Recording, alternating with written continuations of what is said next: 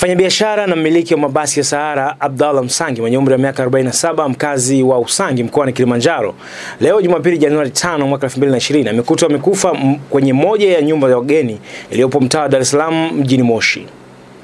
Kaimu kamanda wa polisi mkoani Kilimanjaro Tanzania James Manyama amethibitisha kutokea kwa kifo hicho. Amesema mfanyabiashara huyo alikuwa na rafiki yake wa kike chumbani, lakini baada ya kuona mwenzake anaishiwa nguvu na kuanza kutoka na mapovu puani na mdomoni akakimbia. Aidha, amesema baada ya kupata taarifa na kufika eneo la tukio na kulipekua gari la Msange kulikutwa na dawa ya kienyeji ambayo imechukuliwa kwa uchunguzi zaidi. Mwili wa marehemu umepelekwa hospitali ya mkoa wa Mawenzi kwa uchunguzi zaidi. Endelea kufuatilia Global TV kwa update zaidi. Naitwa Lucas Masungwa. Ili kuwa mwanafamilia bora wa Global TV, usisahau kusubscribe, like, kushare na kucomment. Baada ya kusubscribe, bonyeza alama ya kengele ili kupata taarifa kwa kila video inayopanda Global TV Online.